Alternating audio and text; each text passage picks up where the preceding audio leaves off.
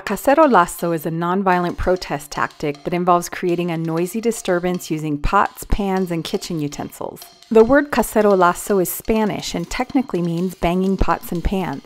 The Spanish word cacerola means pan, saucepan, or stew pot. The Spanish suffix azo denotes a hitting action.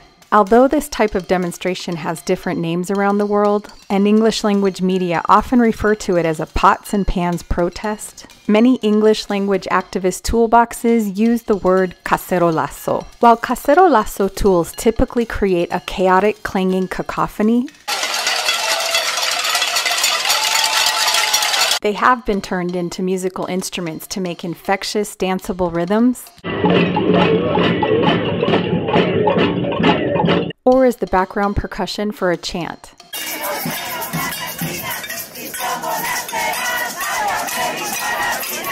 The tradition of protesting through banging on pots and pans can be traced back to medieval Europe's shivarees, which were noisy mock parades used to shame people who had violated community norms. The cacerolazo first gained international prominence when it was used in Chile in December 1971 with the March of the Empty Pots. Here, an estimated 5,000 women were protesting food shortages, with empty pots and pans powerfully symbolizing the difficulty families were experiencing in finding enough to eat. This audible form of protest is predominantly used in Latin American social movements today. However, it is still used in other parts of the world, usually to demonstrate mass disapproval of corruption, authoritarianism, and economic systems that aren't working for the people. While cacerolazos usually happen in groups, they can be done alone, as hashtag Cacerola Girl bravely demonstrates here with Puerto Rican riot police in July 2019 when protesters were demanding that the governor resign.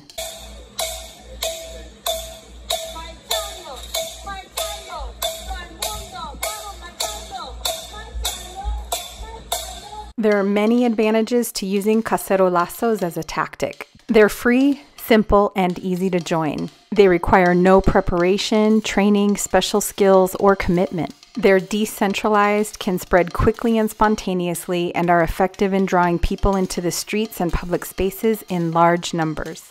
Since hundreds, even thousands, can participate, they can be used to demonstrate people power and collective spirit, stimulate a sense of solidarity, build momentum, and recruit members in a movement. Cacerolazos are versatile in that they can be done outside in marches and demonstrations in front of office buildings, from a car during a pandemic, inside buildings to disrupt meetings or conferences, and from inside homes hanging out windows or from balconies during curfews, lockdowns, or situations where street protests are forbidden or dangerous, or to defiantly show that a particular broadcast is not being watched. And all ages can participate.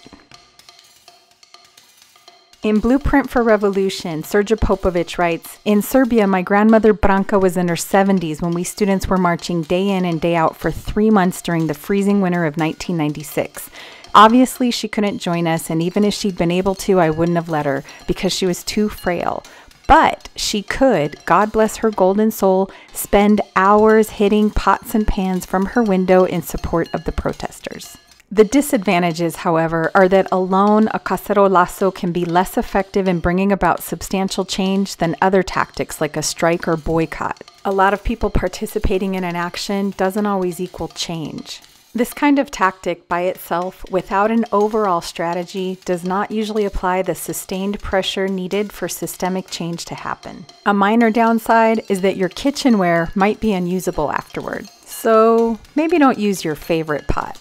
And arms get tired. One solution some protesters use is a Cacerolazo smartphone app.